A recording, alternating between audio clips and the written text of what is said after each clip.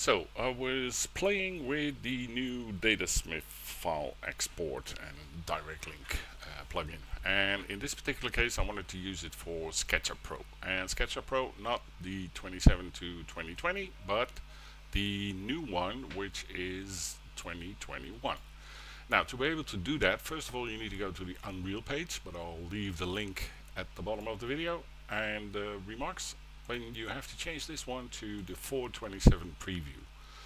Now if you download it and you start installing it inside SketchUp you will get these icons. It's a new plugin for Datasmith so you can do right click there's a Datasmith here activate it and it will show up these little buttons. Now what I did for testing is I opened two sessions of SketchUp one session of Twinmotion, which is still empty.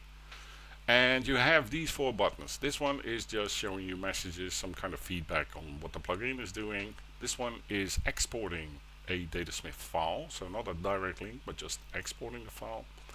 This one shows you the connection. If you press it, you can see no connection found because we haven't activated the connection yet.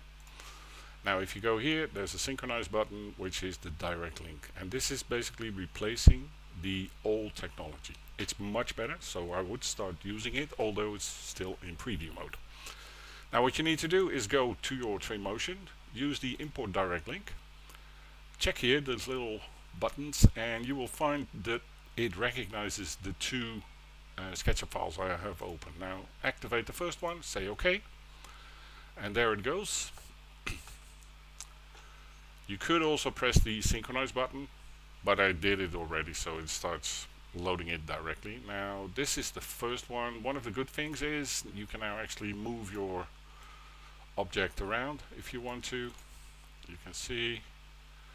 And the options are here. You have some additional additional options. So if you go to the direct link, you can alter it into keep hierarchy, for instance. Uh, you can also, if you have, for instance, deleted some objects inside your Twinmotion scene, you can just re-import them directly and reset the materials you might have applied and reset the transfer you might have applied inside Twinmotion. So that's the things you can do. There are some little things left to be done, but it's still preview mode, but it works already pretty well.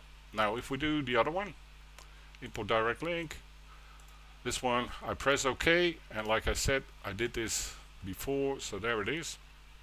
And it's actually of course on the same place as the other one. So let me just move it as a whole. You can see that's the other file which I imported.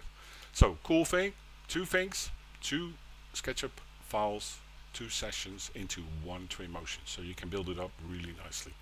And using the new tools you get new options for reset transforms, reset materials, and re-import deleted objects. More will follow, but it's already there. Make sure and go and download it because it solves a lot of problems already. Thanks.